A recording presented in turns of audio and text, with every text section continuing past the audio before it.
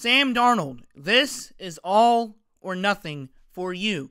You now have all the weapons you can possibly ask for for this upcoming season with the Carolina Panthers. Yes, we heard the excuses. We saw what we saw for the past three seasons or four seasons you've been with the Jets. Okay? It hasn't been great.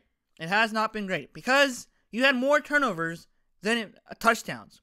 Yes, you had terrible wide receivers. You had a running back that was 60 years old, still playing. You had a terrible uh, coaching staff. Yes, we got that. But the turnovers have got to stop. You did it in college with USC, you did it with the Jets. It's got to stop with the Carolina Panthers because the whole fan base right now was just shocked about not getting Justin Fields when he was on the board. But we did get a good draft pick, which was Jaycee Horn.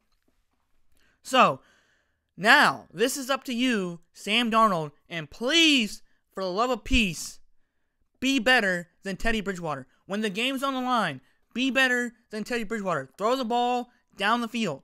You have wide open guys. You have Robby Anderson. You have DJ Moore. You have Moore from uh, Seattle. Now you have Terrace Marshall. Now you have Tommy um, Tommy Tremble. Then you have Dan Arnold. It's kind of funny because Sam Darnold, Dan Arnold, you have all these weapons. Now you also have Chuba Hubbard as well from the Oklahoma State uh, Cowboys. You have all these weapons, and you have the best running back in the NFL, Christian McCaffrey. And if you don't do well this upcoming season, oh man, like it's gonna be like the Teddy Bridgewater hate all on social media. That that dude just got berated all season long because they went 0 and 8 and potentially could have possibly been in the playoffs this year if they would have kept Cam Newton. This is all up to you, Sam Darnold. We all need you to finally get out of the shell, stop turning the ball over, throw the ball uh, accurately, and throw touchdowns as well. We need to be in the playoffs. It has been three years since the last time, actually going on fourth year, the last time the Carolina Panthers have been to the playoffs, which was 20, 2016, 2017. I can't remember because I'm, I'm there's so many losses I can't remember the last time we, um, we uh, went to playoffs, and that's the uh, airplane.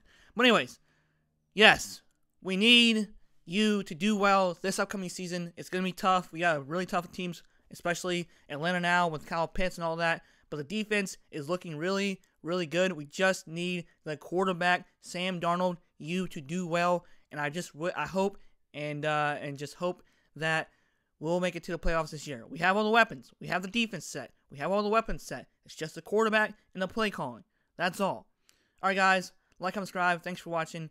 You have a great day. More Carolina Panthers videos on the way. This NFL draft, the draft class has been amazing. I'll probably talk about that later, but uh, it's been fantastic. But please, Sam Darnold, we all need you to perform well with the Carolina Panthers.